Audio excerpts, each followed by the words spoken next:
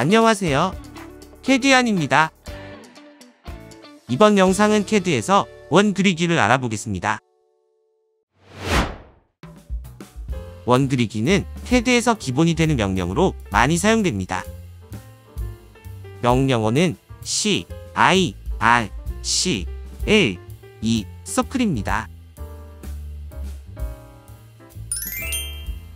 첫 번째, 명령 실행하기. 원 그리기를 실행하는 방법은 세 가지입니다. 방법 하나, 명령어 또는 단축키를 입력합니다. 키보드에서 원 그리기의 명령어 서클 입력 후 엔터 또는 스페이스 바를 실행합니다. 원 그리기가 실행되고 원이 그려집니다. 이번에는 단축키를 실행해 보겠습니다. 키보드에서 원 그리기의 단축키 C 입력 후 엔터 또는 스페이스 바를 실행합니다. 원 그리기가 실행된 것을 확인할 수 있습니다. 방법 둘, 리본 메뉴의 아이콘을 클릭합니다. 리본 메뉴의 홈이나 2D 그리기에서 원 아이콘을 클릭합니다.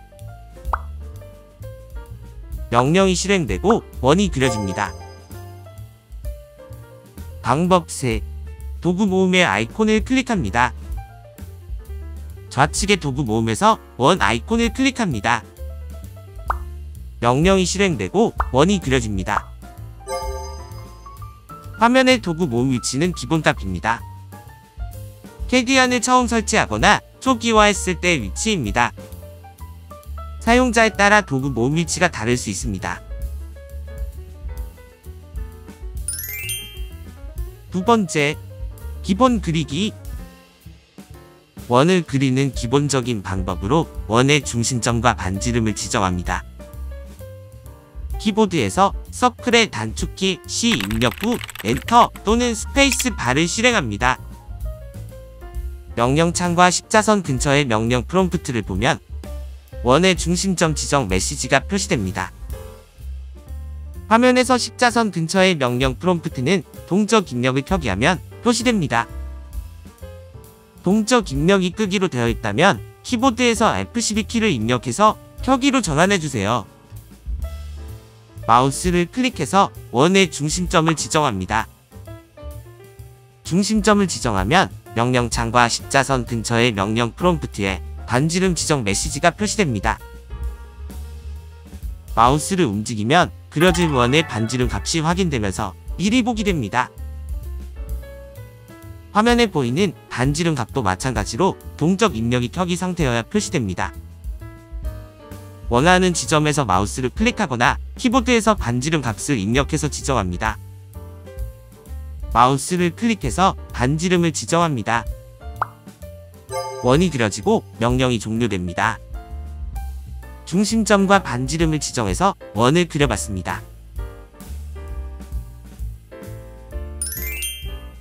세 번째, 옵션 사용하기. 캐드에서 원을 그리는 방법이 몇 가지 있습니다. 중심, 반경, 지름, 접선, 두점, 세점의 옵션을 사용할 수 있습니다. 옵션 사용은 명령어보다 리본 메뉴나 도구 모음의 아이콘을 사용하는 것이 편리합니다.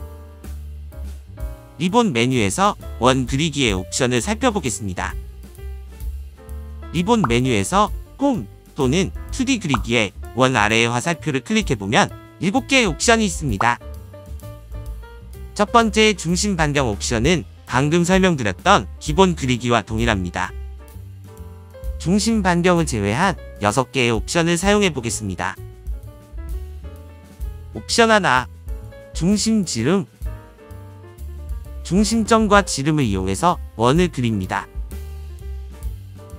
리본 메뉴의 원 옵션에서 중심 지름 아이콘을 클릭합니다.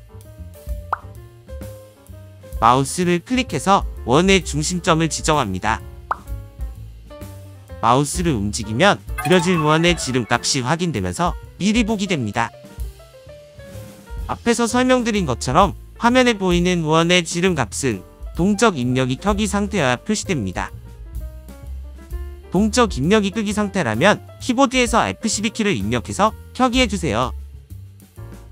원하는 지점에서 마우스 클릭으로 지름을 지정하거나 키보드에서 원의 지름 값을 입력해서 지정할 수 있습니다.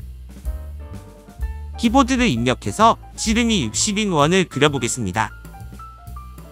키보드에서 60 입력 후 엔터 또는 스페이스 바를 실행합니다. 원이 그려지고 명령이 종료됩니다. 왼쪽의 특성 창에서 그려진 원을 확인해보면 지름이 입력한 값인 60으로 확인됩니다. 특성 창이 보이지 않는다면 키보드에서 컨트롤 키를 누른 채 숫자 2를 입력해서 켜주세요. 옵션 둘, 두 점. 지름의 두 점을 이용해서 원을 그립니다. 두 점 옵션은 객체 스냅을 활성화해서 사용해 보겠습니다. 객체 스냅이 끄기 상태라면 키보드에서 F3키를 입력해서 켜기 해주세요. 그리고 객체 스냅 모드에서 원하는 모드를 설정해주세요. 객체 스냅에 대한 설명은 오른쪽 상단의 영상을 참고해주세요. 화면에 보이는 정사각형 안에 한 변의 길이와 같은 지름의 원을 그려보겠습니다. 리본 메뉴의 원 옵션에서 두 점 아이콘을 클릭합니다. 지름상의 첫 번째 점을 지정합니다. 정사각형 윗변의 중간 지점으로 커서를 이동하면 중간점이 인식됩니다. 중간점이 인식된 상태에서 마우스를 클릭해서 지정합니다. 지름상의 두 번째 점을 지정합니다. 방금 지정한 중간점의 반대편인 아랫변으로 커서를 이동합니다. 중간점이 인식되면 마우스를 클릭해서 지정합니다. 정사각형 안에 원이 그려지고 명령이 종료됩니다. 옵션 셋, 세점 원주상의 세점을 이용해서 원을 그립니다. 세점 옵션은 두 점 옵션과 마찬가지로 객체 스냅을 활성화해서 사용해 보겠습니다. 화면에 보이는 세 개의 선의 끝점을 지나는 원을 그려보겠습니다. 리본 메뉴의 원 옵션에서 세점 아이콘을 클릭합니다. 원의 첫 번째 점을 지정합니다. 위쪽에 있는 선의 끝으로 커서를 이동하면 끝점이 인식됩니다. 끝점이 인식된 상태에서 마우스를 클릭합니다. 두 번째 점을 지정합니다. 왼쪽 선의 끝으로 커서를 이동해서 끝점을 인식합니다. 끝점에서 마우스를 클릭합니다. 마지막으로 세 번째 점을 지정합니다. 오른쪽 선의 끝으로 커서를 이동해서 끝점을 인식합니다. 끝점에서 마우스를 클릭하면 원이 그려지고 명령이 종료됩니다. 세 개의 선 끝에 접하는 원을 그려봤습니다. 옵션 4 반지름 접선 두 객체에 접하는 주어진 반지름을 이용해서 원을 그립니다. 반지름의 값을 알고 두 객체 접하는 원을 그릴 경우 사용합니다. 화면에 보이는 정사각형의 두 변에 접하는 원을 그려보겠습니다. 리본 메뉴의 원 옵션에서 반지름 접선 아이콘을 클릭합니다. 첫 번째 접점을 선택합니다. 마우스로 정사각형 위쪽의 변을 클릭합니다. 두 번째 접점을 선택합니다. 마우스로 정사각형 왼쪽의 변을 클릭합니다. 마지막으로 원의 반지름을 지정합니다. 반지름을 40으로 지정해 보겠습니다. 키보드에서 40 입력 후 엔터 또는 스페이스 바를 실행합니다. 원이 그려지고 명령이 종료됩니다. 선택한 두 변에 접하고 반지름이 40인 원이 그려졌습니다. 옵션 5 접선, 접선, 접선 세 개의 객체에 접하는 원을 그립니다. 반지름이나 지름의 값을 모르는 경우 사용합니다. 화면에 보이는 세 개의 선에 접하는 원을 그려보겠습니다. 리본 메뉴의 원 옵션에서 접선, 접선, 접선 아이콘을 클릭합니다. 원의 첫 번째 점을 지정합니다. 마우스로 첫 번째 선을 클릭합니다. 그리고 두 번째 선, 세 번째 선을 순서대로 클릭해줍니다. 원이 그려지고 명령이 종료됩니다.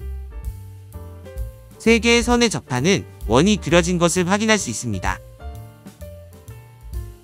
옵션 6. 호를 원으로 변환.